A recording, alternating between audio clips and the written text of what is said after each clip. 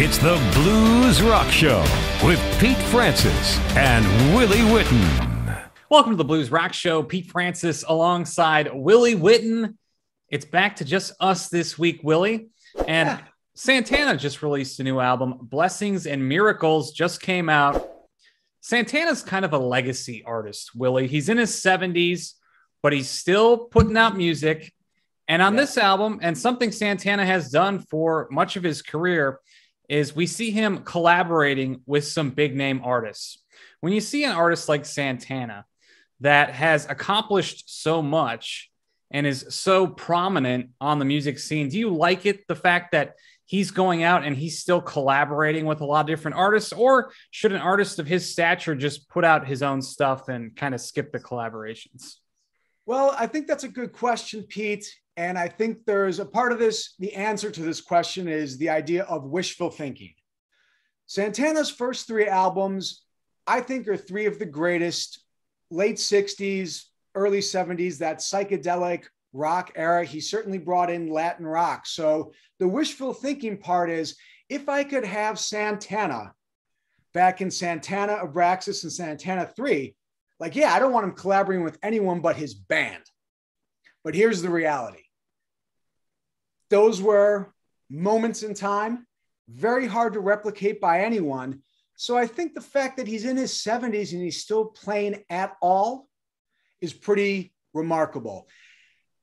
Sometimes I feel like his more recent collaborations get a little bit too poppy. They're trying to be a little bit too friendly to a wide, wide, wide range but I don't know. I, you know, it's hard to fault someone. And, you know, I did this to Clapton a couple weeks ago, rip into them for not being what they were when they were in their 20s and 30s and 40s. And that's not fair. So if I'm being honest, Santana's still at it. I'll take it. Thumbs up for him. What do you think? Am I being too generous to him? No, I, I, think it's really cool that he's going out and doing these collaborations because he doesn't really have to do this at this point. And we mentioned he's a legacy artist. Obviously, if you're from the baby boomer generation, you know who Santana is. But yeah. if you're a teenager today, do you necessarily know who Santana is? That's why I think it is such a great idea for him to continue to do these collaborations. On this album, he teamed up with Chris Stapleton. Well, a lot of people know who Chris Stapleton is today. He's sure. extremely successful, extremely popular. So for Santana to team up with someone like him, I think that's very smart. That's great marketing by Santana. I think him having these sort of collaborations is great because he's exposing his music to a new generation of fans who maybe hadn't heard of him before. So. I think that's really great this album, we also see him teaming up with Rob Thomas again. Yeah. Now, if you were around in the 1990s, I was a kid back then. You pretty much could not go in the car and turn on the radio and not hear smooth, right? That's right. It was literally played as much as any song in the 1990s on the radio. Yes, it was. Yeah, it was. And you know, Pete, what you said, and I guess I didn't think about it. I'm being a little bit too myopic. I'm not really being open minded, is I've loved Santana since I was in middle school. So I forget what you said. There's a lot of people who have never heard of him, and they're not going to start in the record bin on Santana 1.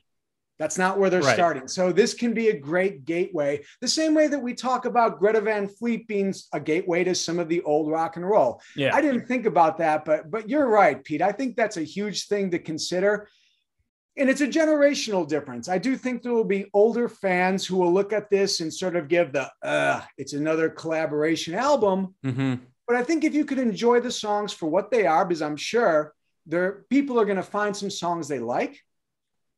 It's a way to reconnect with the younger generation for sure. Mm-hmm. And by the way, just for the record, that's my favorite Santana album. It's Santana 3 but wishful thinking that's never coming back. So i think be thankful for what you got and i'm glad to see him still making records. It's yeah and he goes from smooth to move with rob thomas on this album.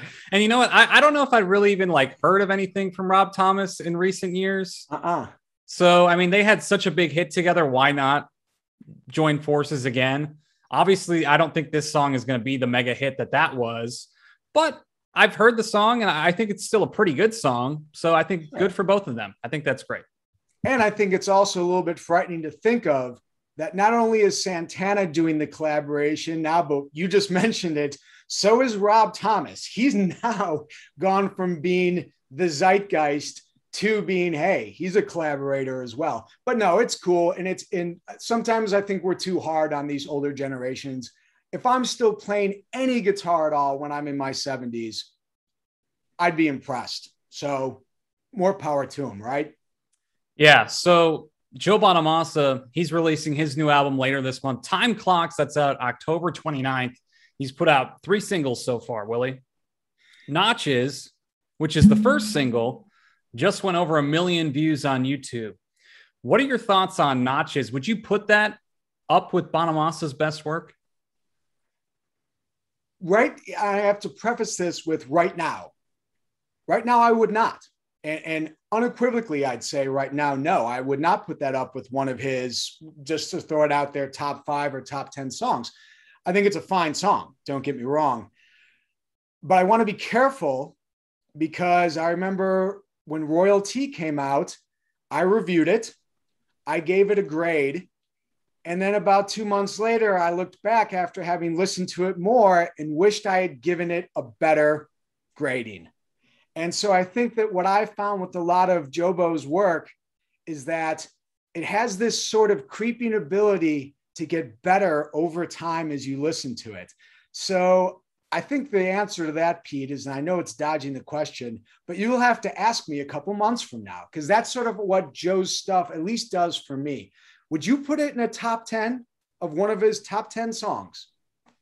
As of right now, no, I would not put it in his top 10 songs. But the thing is, Joe Bonamassa, he's released so much music and yeah. so many albums. That's a really, really hard feat to reach to, to get into his top 10. So, no, I wouldn't put Notches in his top 10. I think it's very solid. I think it's a good song. And it's a song, Willie, when you listen to it, I mean, the chorus is is basically that riff. Yes you know and if you can grab people in a chorus with a, uh, a guitar riff and really get mm-hmm. people's attention like that I, I think that's great. So I, I think the song is, is, very good. I think it's very solid. I wouldn't put it in his top 10 songs. However willie we've both gotten the chance to receive this album before it's come out. And i've yeah. had a chance to really dive into this album over the last week or so. What i've got to say you know Royal Tea was very good that was voted Blues Rock Review's number one album of 2020. Right. Time Clocks, I think, is even better. Okay. This album, from start to finish, not a bad track on there. And one thing that has really stuck out to me so far listening to this album is I think Joe really dives deeper lyrically with this album than some of his previous works. He's writing some pretty deep stuff on this. And a lot of these songs have so many different layers to them. It's almost like right. Joe and Kevin Shirley kept challenging each other. We're like, okay, how do we add another layer or another element to take this song even higher? And that's what we kind of see with this album as a whole. So right now, he's put out three singles. Time Clocks was another one. And The Heart That Never Waits, I believe, was the other single that he's put out three very good songs, but I don't even think those are in the top three songs on this album, actually. Mm-hmm. So I, I think when people actually hear this entire album, for me, my personal favorites are tracks six through eight. Okay. So when people hear this album, check out those tracks. But from start to finish, I, I think this is a really, really good album. And I think it's one of Joe's best albums since the Ballad of John Henry. Well, you mentioned something about him and Kevin Shirley one upping each other, adding layers, becoming a little more nuanced, more advanced, which I think is true. I thought some of that certainly got started on Royal Tea as well. What I want to sort of tie in here is we both agree that we don't think it's one of his best, being the word tracks. Mm-hmm. But like you said, with the riff being sort of doubling in as that chorus, that catchiness to it, if I phrase the question differently, would you feel differently? And that question is Do you think it eventually might be one of his 10 most lasting and recognized tracks? That's a great question, Willie, question. because when you think about this, Joe Bonamassa is more popular now than uh-huh. he's ever been. Yep. So a song that he puts out today is going to get more miles or more notches in this case than his previous work. I mean, that's just the reality of it. I mean, right. Joe Bonamassa is a lot more prominent now than he was 15 years ago. Yep. So I think, you know, I think this song is going to get a lot more miles because of that. So that, I mean, that's a great question, Willie. And when you look at something like Spotify plays, I bet Notches will get a lot more Spotify plays than some of his previous work because he's just a lot more popular now than he was 10, 15 years ago. I agree with that analysis. You just mentioned something. You were talking about Spotify, Spotify plays, Pete. And wouldn't you know it, Spotify's back in the news. Yeah, Joe loves Spotify. Oh, uh, yes, he loves them so much. Spotify has now introduced or is in the process of introducing, rolling out something called, this is the its name, I believe, unless I'm misreading it. It's called Car Thing. All right, and let me read to you what it is about. It is a smart player that fills your car with music, news, entertainment, talk, and more. Sounds like the radio, Willie.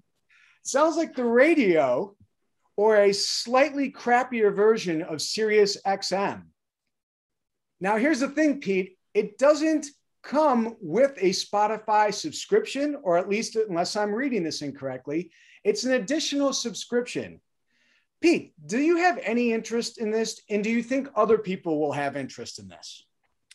Well, I'm not a huge Car Spotify thing, consumer to begin with, so I don't know if I'm the best person to answer that question. And I mean, I guess the reason why I'm not a big Spotify consumer is just because being with Blues Rock Review, we get sent music all the time. So I'm not necessarily going to Spotify to try to find and discover things like a lot of people might. Sure. So, you know, as far as in the cart, now here's a question though, Willie. How does this affect royalties? Because obviously, an artist they would get paid more if their song gets played on the radio, right, than if it was streamed on Spotify. So, if you're using this service in the car, then does that count as a stream? So, like the artist would get paid for a stream and not like a radio play?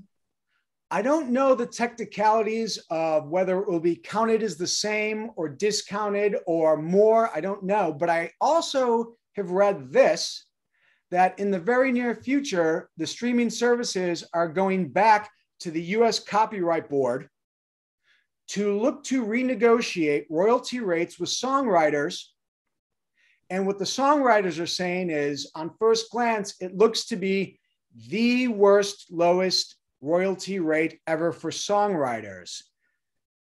I don't know if these are the same thing, but Pete, is Spotify just eventually, and the streamers, are they just going to overwhelm musicians and just going to get their way? I think so. I mean, they're already getting their way. I mean, and right now, when you look at things, and here's the other aspect to look at, Willie. So, someone like, for instance, we talked about Bonamassa, and he commented to us about Spotify a couple years ago in an interview and said he knew songwriters in Nashville with 25 million spins and they were getting a check for $700. You know, so, but he's a guy who's experienced both ends. Yeah. He's experienced the music industry before streaming and Spotify and with it. But we're going to get to a point, and this is going to come sooner rather than later, where a majority of the artists out there, they're not going to know anything different, Willie. I know. They're going to be around and coming up in the era of Spotify and the streaming platforms. And a lot of these musicians and artists will never really know what it's like to actually sell physical product. So for them, it's just going to be normal. They're not going to know any different. And I think that's just kind of the way that we're heading is eventually it's just going to get that way and and people are musicians are they're not going to know any different so they're just going to have to evolve and adapt Ah, boy, that's sort of like the Santana comment. You're right. I'm a little myopic. I forget about the point that this is what people are going to know. I don't love that. Pete, can I be blunt? Go for it.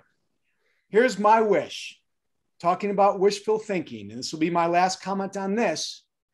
I wish that Spotify would spend a little less time coming up with stupid things that no one really needs and a little more time thinking about not just theirs, but the music industry as a whole's longevity and future. Do you agree with that? Yeah, totally. What do you guys think? Let us know down in the comments section below. What do you think of Joe Bonamassa's single Notches? Would you put that up with his best work? And do you like the fact that Santana is still going out and doing these collaborations with big name artists? Let us know down in the comments section below. We'd love to hear from you guys. Make sure to hit that like button. It really helps us with YouTube's algorithm so more people see the video. Make sure to subscribe and hit that notification bell so you never miss a video. That's going to wrap up this week's edition of the Blues Rock Show. For Willie Witten, I'm Pete Francis. We'll see you next time.